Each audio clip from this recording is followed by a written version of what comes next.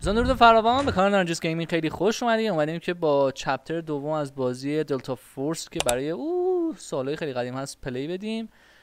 یه قابلیت جدیدی که پیدا کردم دیدید؟ می‌تونید بازی رو هم سوم شخص کنید picture تو picture باشه و به غیر از اون می‌تونید دوربین حالت cinematic طور مثل الان. درست کنید که بره. خب از اونجا که ما بخوایم play بدیم ببین رو اول شخص. گرافیک کلا دارید؟ انقدر پیکسلی نکن لبه کوه کلا رنج رنج است. داغونه داغون. ولی خب نمیشه خورده گرفت. خب.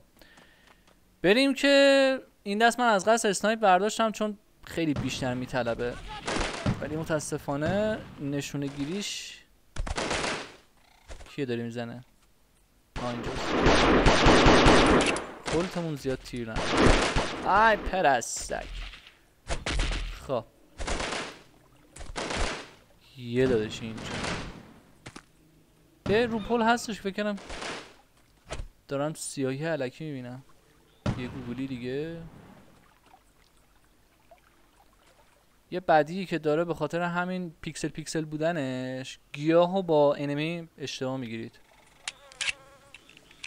خب این هم خشابش عوض کردیم. این از این. دیدید پشتش گیاه بود. این کوچولو رو هم بزنیم. این خورد بهش دمش هم گرم. دیگه روی پل کسی نیست ولی اون دور دورا پیش هواپیما هستن. داداش وایسا. پا! ریلود نمی کردم زده بودمت. یه نفرم اینجاست.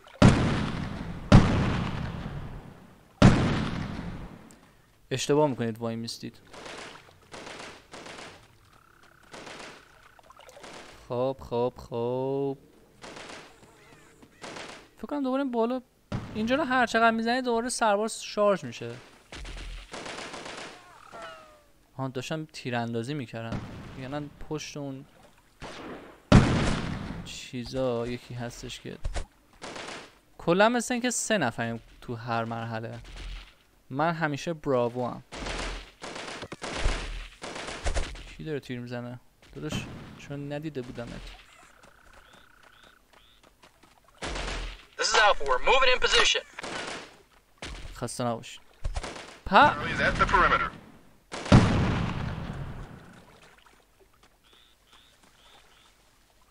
درست دیدم. نخورد بهت؟ او ای. روش بمیر دیگه. ای بابا شما هم که دیگه مسخرش رو شور کردید. چرا نمی‌خوره بهش؟ This is Alpha. South access is secure. فکر کنم اون قسمت کوه باگ داشت. باشه به اون تانکرها چیزی نمی‌زنم که منفجر بشه. چقدر پشه زیاد شده. Charlie, تیر می‌زنه.